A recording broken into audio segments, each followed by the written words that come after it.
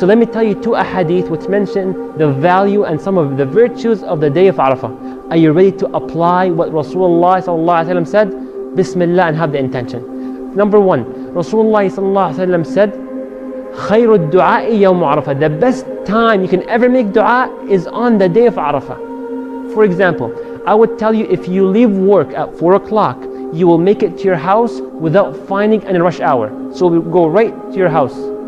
You can leave at 5, you can leave at 7, at 10. You will make it home, but will not be as fast as if you would leave at 4 o'clock. And Allah would accept your dua anytime. But on the day of Arafah, it's a special day, high speed connection. So prepare your list. Oh Allah, I want to get married. Oh Allah, I want to go to Jannah. Oh Allah, I want A plus. Oh Allah, I want my last words in this dunya to be La ilaha illallah. Make dua and don't hesitate.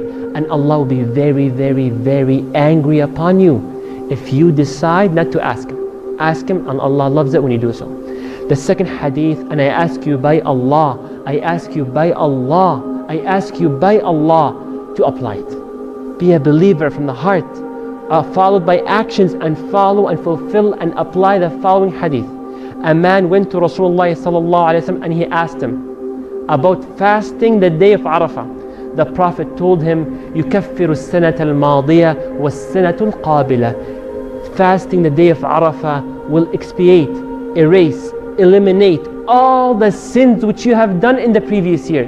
Can you imagine how many sins we've done? Wallahi, thumma wallahi, if my sins would to have a smell, you would never would want to meet me for how stinky I would be if our sins would have smell.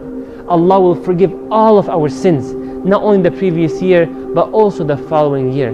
This is an opportunity, and only the wise and the smart ones and the true believers seize that moment and they fast that day. So I ask you by Allah to share this video.